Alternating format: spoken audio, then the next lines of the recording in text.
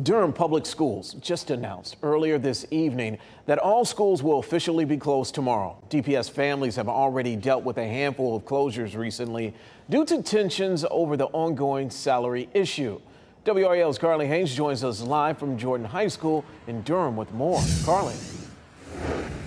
Yeah, Julian, buses won't be going in and out of this high school tomorrow. Parents tell me they often don't have a lot of time to prepare for these closures. And because the board is scheduled to meet about the salary options next on February 22nd, parents don't know how many more of these closures there may be.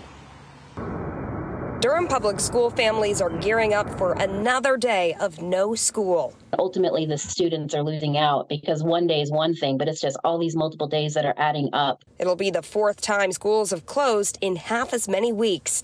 Now, some parents, like Andrea Morelos, are worried about loss of valuable learning time ultimately in the long run i mean you've got like the end of year testing the eogs um, i mean i don't know how many days we're going to miss but i mean they they start cracking down in these months to prepare youth for that. Dps says the reason for the closures is because too many transportation support staff called out.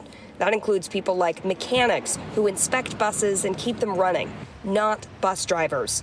There are 45 transportation support workers and 150 buses in DPS we want to see our kids and we want them to get the education that they need. Avery Thomas is a classified worker.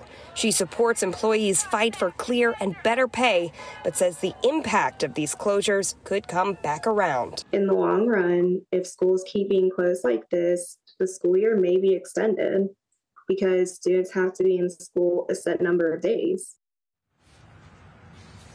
And DPS said 75% of their students take the bus to school. They're bus riders. So if these buses aren't running, those students can't come to school, Julian. Ah, so many people impacted by this. WRAL's Carly Haynes live in Durham tonight. Thank you.